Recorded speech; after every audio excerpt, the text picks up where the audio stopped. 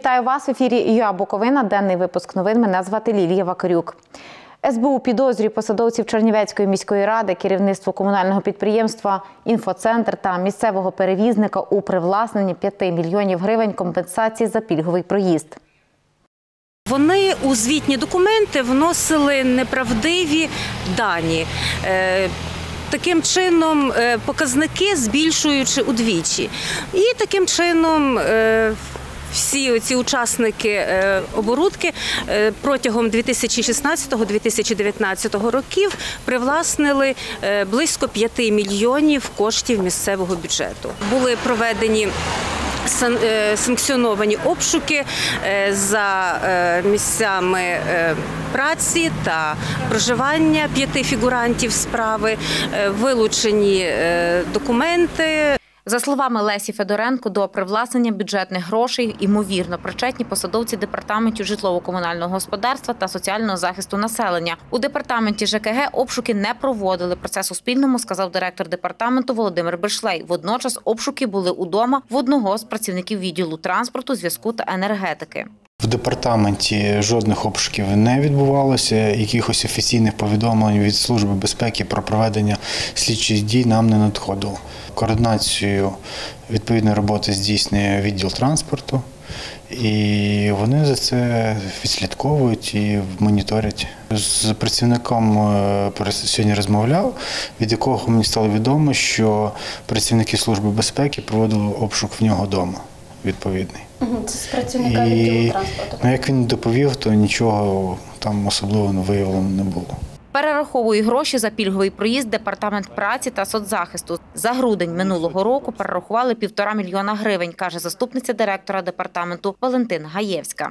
У нас обшуків ніяких не проводилося. Але хочу сказати, як зазвичай, е, керуючи своїм відомчим законодавством, нас працівники СБУ майже кожного року, це впродовж травня, на початку червня, значить, приходять із запитом для того, щоб ми дали відповідні документи, на підставі чого ми проводимо це відшкодування пільгового перевезення перевізникам.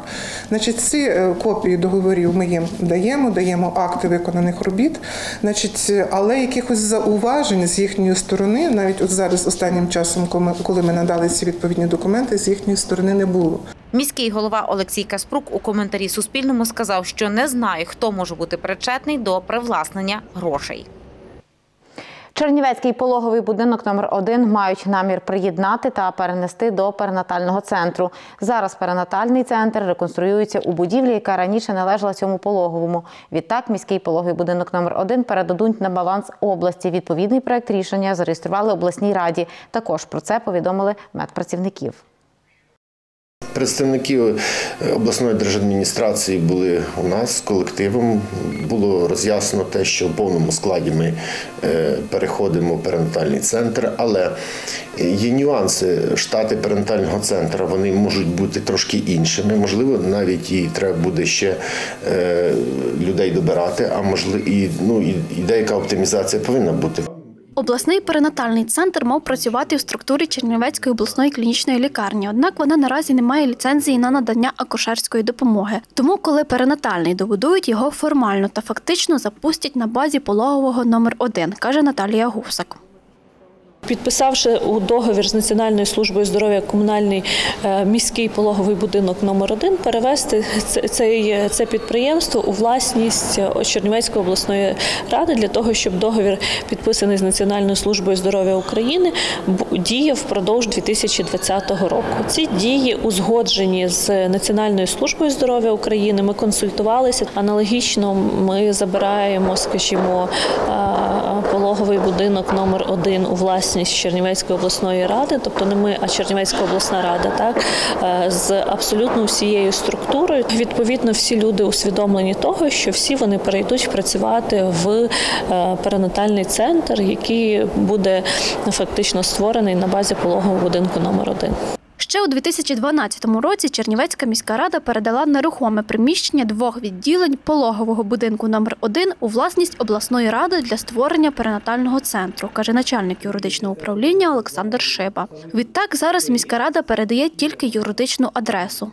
Таким чином, е, об'єкти нерухомості першого полового будинку за адресою е, на Буковинській вулиці і на головній 129, вони вже знаходяться у е, власності спільній власності територіальних громад, і фінансування довгий час здійснювалося із там обласного державного бюджету, тобто та ідея, яка була при тодішній владі щодо реорганізації, щодо ну, не реорганізації, а щодо фінансувань саме перинатальних центрів даного рівня, вона могла здійснюватися саме на обласному рівні. 30 січня на сесії міської ради депутати мають проголосувати за вихід зі складу засновників медзакладу міської ради. А на сесії обласної ради замінять орган управління. Відтак, з 1 квітня пологовий перейменують на Чернівецький обласний перинатальний центр. Працюватиме він у будівлі, яку зараз реконструюють. Перинатальний центр почали завозити медичне обладнання. Його закупили в 2013 році. Увесь цей час зберігали на складі управління капітального будівництва.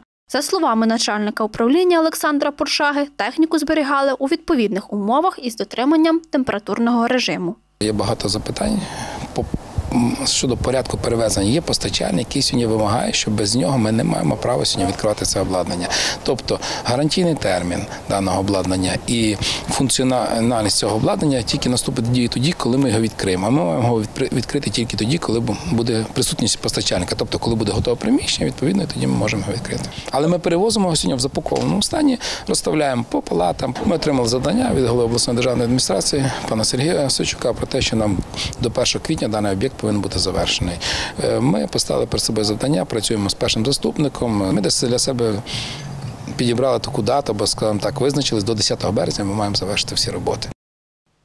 Понад мільйон гривень заборгував державі власник АЗС на Буковині. Він не оформив відповідні документи на користування землею. Про це сказала виконувачка обов'язків прес-секретаря прокуратури Чернівецької області Ольга Долга. За її словами, власник АЗС заборгував Магальській сільській раді 1 мільйон 200 тисяч гривень за користування землею площею 300 соток в селі Остриця Новоселицького району.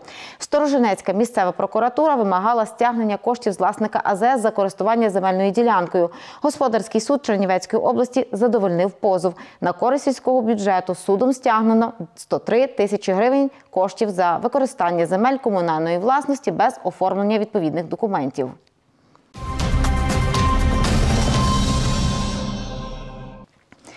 У центрі стерилізації тварин ревакцинують собак від сказу.